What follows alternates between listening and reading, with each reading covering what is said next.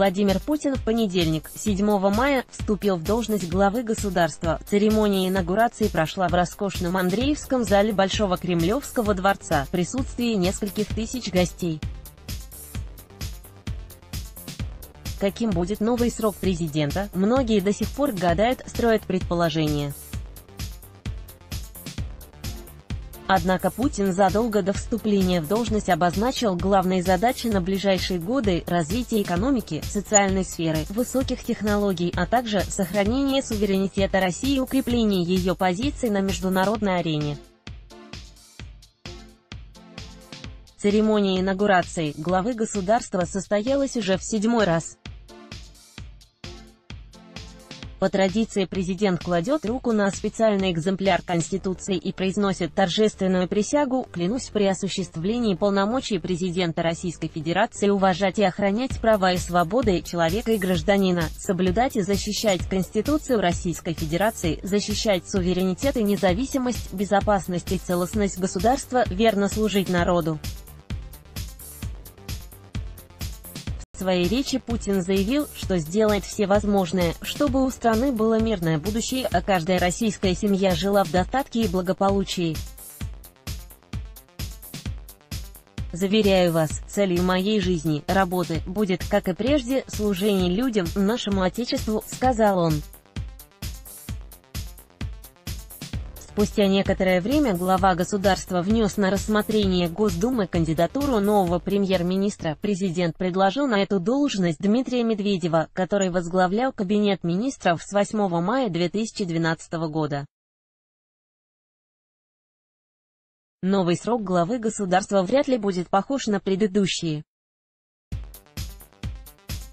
Он ознаменует собой не только формирование нового кабинета министров, но и подписание ряда указов, принципиально важных для дальнейшего развития страны, в том числе модернизации ее социально-экономической сферы.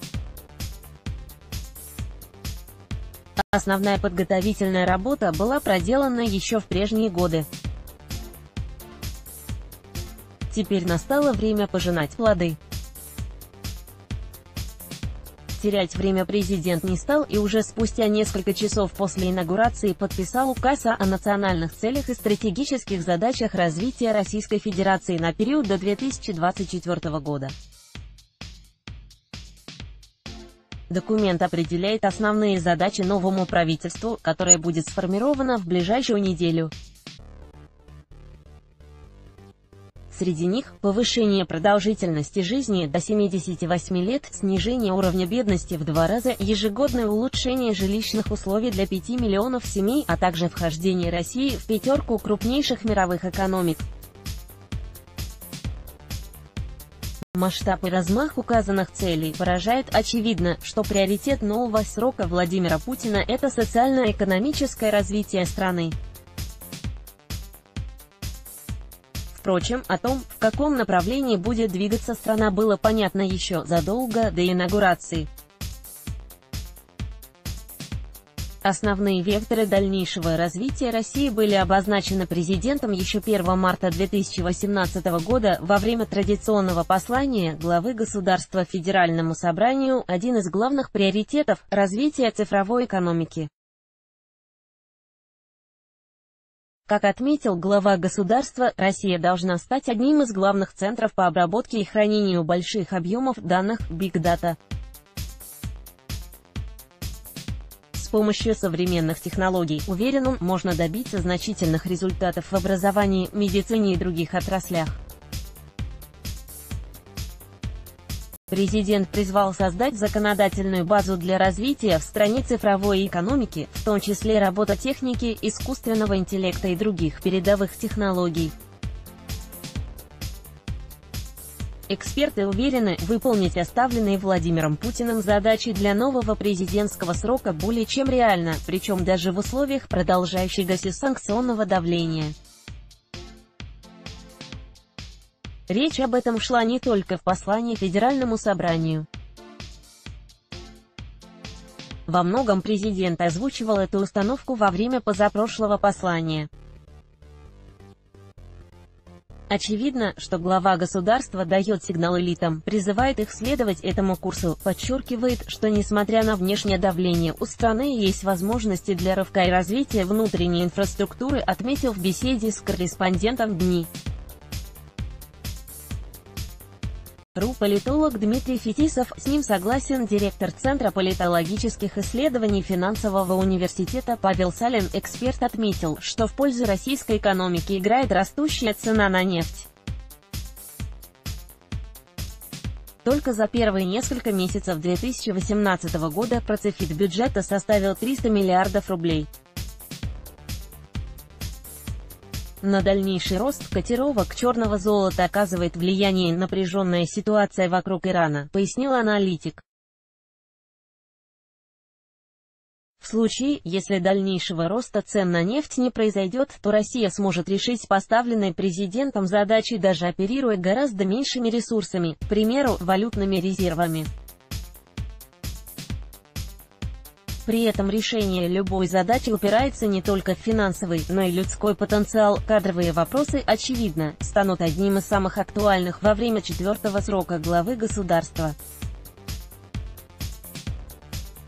Создание всех необходимых условий для дальнейшего насыщения власти на всех уровнях умными, национально мыслящими и патриотично настроенными людьми, а также объединение всех здоровых сил общества – одна из фундаментальных задач ближайшей шестилетки.